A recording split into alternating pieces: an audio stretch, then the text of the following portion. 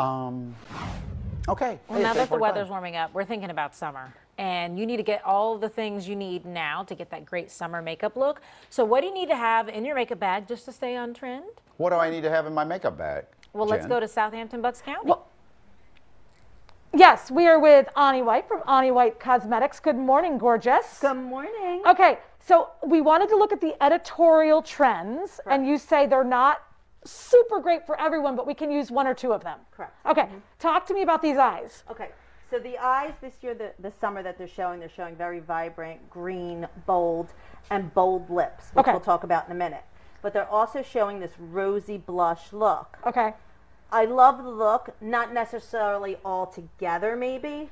Um, a little bit more minimalist when you do the blush. That would be give you just enough pop, and a glossy lip would be nice. The eyes are great; they're bold, but I would personally to make it a little bit more realistic. okay. I would almost blend in something a little bit. Show us a little bit what you would do. Okay.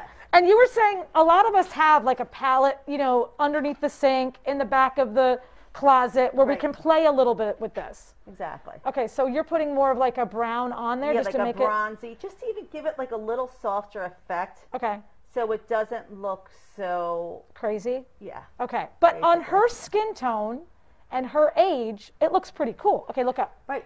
Oh, that does look cool. It, it blends it nicely. It does. All right, and then how much? I know that you are a blush fan, I love blush. but yeah. some of these blushes are like full on red that they're showing. So you say go with what your regular blush is or what? So, well, peach is universal. It looks good on any skin tone, pink or yellow. Okay. Okay. Um, as we hit 30 and go up, we start to lose the coloring in our skin.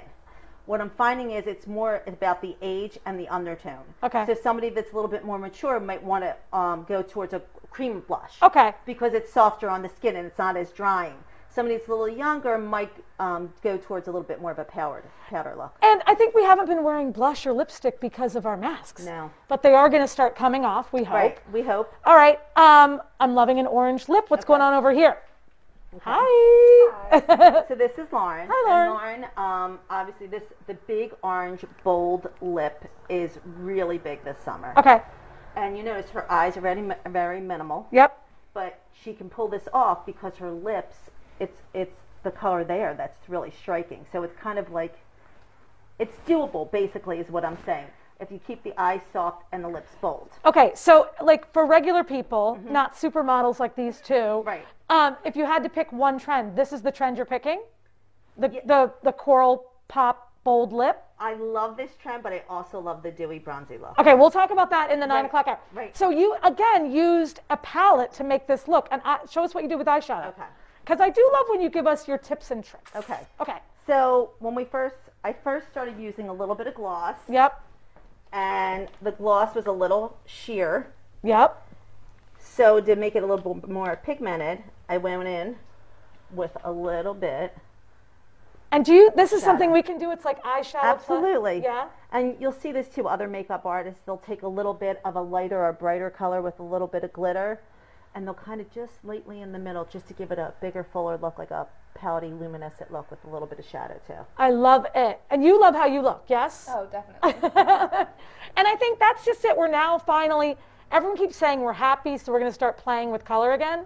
Yes. Yeah, you like that. I do. I love it. But the big thing everybody keeps saying is too, they're looking for more mattes Okay. because they're concerned with the mask. Okay. But hopefully we won't be wearing the mask soon. Right. And then we can all start having a little bit more color and shimmer on our lips. I love it. I'm ready for the shimmer. I'm here for it. I love all of it. All right, so coming up in the next hour, you talked a little bit. There's a new bronze, Yes. and you think that is a more wearable look. Totally. Okay, we'll talk about it. I love it. Guys, if anyone can make green eyeshadow look good, it's my lady right here. That is See, I awesome. really have always liked that color, so I'm totally into Right. it. Is that close to chartreuse? It, it seems close to chartreuse to me. yeah, I like it.